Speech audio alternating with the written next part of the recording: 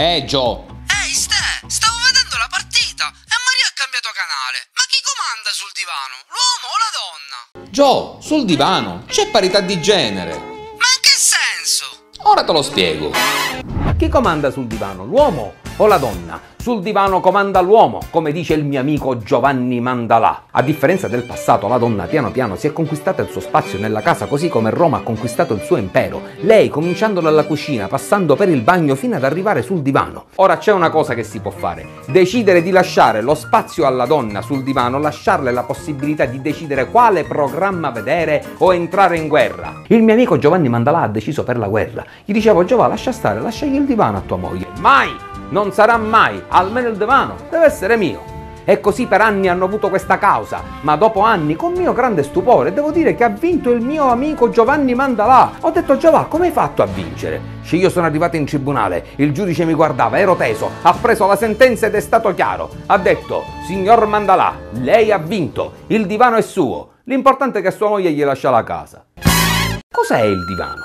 Il divano è un luogo sacro, custodisce i segreti della famiglia. Nei divani antichi puoi trovare anche reperti storici. Tra i cuscini trovi pan di stelle, popcorn che hanno visto il Titanic, monete da 200 lire. È sempre stato una sorta di triangolo delle Bermuda. Tutto quello che passa da lì sparisce. Ricordo una volta che è entrato un bambino del mio palazzo a casa mia, è salito sul divano, è sparito per 15 giorni. Poi mia madre ha pulito il divano e l'ha trovato tra i cuscini. Era riuscita a sopravvivere mangiando pan di stelle e popcorn. Oh, e si fu pure qualche 10.000 lire a monete di 200 lire. Chi comanda sul divano, l'uomo o la donna? Una cosa è certa, una donna sul divano non ti dà fastidio, anzi è bella da vedere, sembra una venere distesa, ma l'uomo, l'uomo a guardarlo sul divano dà l'impressione di essere uno scansafatiche, per capirci, un lagnoso. Infatti una donna che vede l'uomo sul divano gli dice allora ti devi alzare, non puoi stare sempre sul divano, ti vengono i dolori. E lui, oh, sono andato in palestra e mi sono fatto male il polpaccio. Sono andato in bici e sono caduto. Sono andato in piscina e mi è venuta la sinusite. Io sul divano non mi sono fatto mai niente. Chi comanda sul divano, l'uomo o la donna?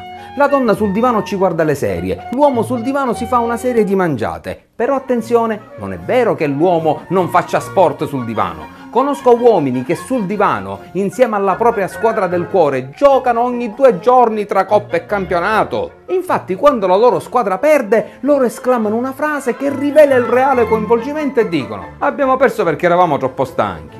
Oh, loro si sentono stanchi come la squadra.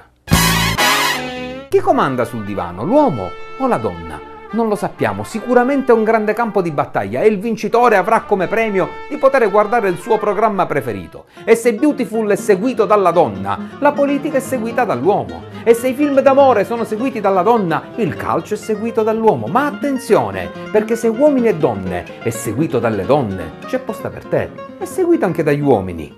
Quindi, chi comanda sul divano, l'uomo o la donna? Sul divano c'è parità di genere, perché sul divano comanda Maria De Filippi. E quindi, perché c'è parità di genere? Non ho capito. Chi comanda sul divano, l'uomo o la donna? Gio, c'è parità di genere perché sul divano comanda Maria De Filippi. Perché? Facile, perché è una voce da uomo in un corpo da donna.